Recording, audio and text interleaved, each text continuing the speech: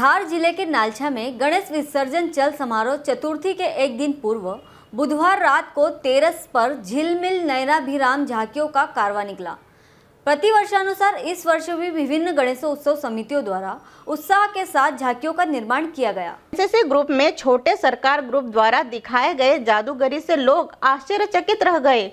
कुशवाहा समाज ने आकर्षित शिव भक्ति पर आधारित झांकी प्रस्तुत की। वहीं एनसीसी द्वारा भगवान गणेश को माता पार्वती की गोद में झूलता हुआ दर्शाया गया।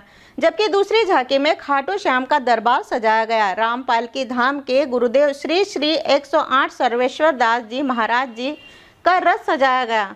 वहीं बजरंग दल अखाड़े के पहलवानों ने करतब दिखाकर दर्शकों का मन मोह लिया।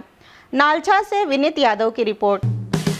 हेलो फ्रेंड्स आप देख रहे हैं हमारा channel S W twenty four news हमारे सारे वीडियो सबसे पहले देखने के लिए आप हमारे चैनल को सब्सक्राइब करें और पास में लगे बेल आइकन को दबाना बिल्कुल भी ना भूलें।